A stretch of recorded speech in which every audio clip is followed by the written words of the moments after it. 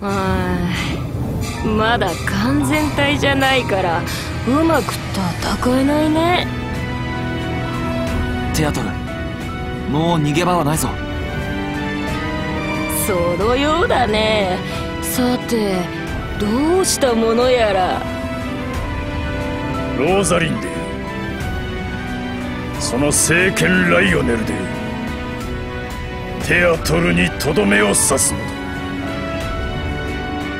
その剣の力があればダークファルスを封印ではなく滅ぼすことができる。20年前にその聖剣があればダークファルスの災いを葬ることができた。今こそも長きにわたった祭人の禍根を断ち切る時だはい。父上。その役目。この私に任せてもらえぬでしょうか。いずれ父上の後を継ぐ者として私に祭人を倒させてほしいのです。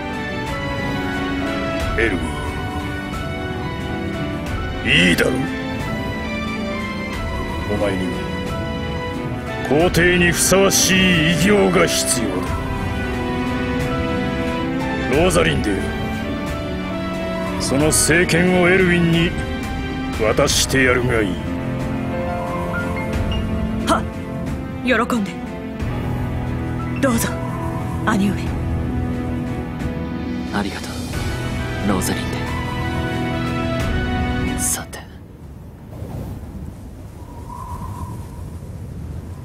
いざ覚悟。あ兄上。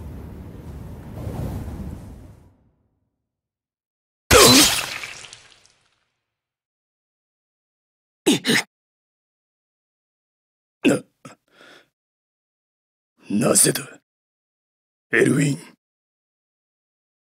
世を殺さずともお前は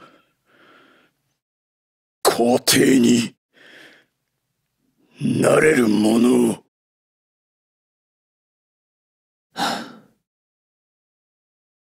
父上お許しください。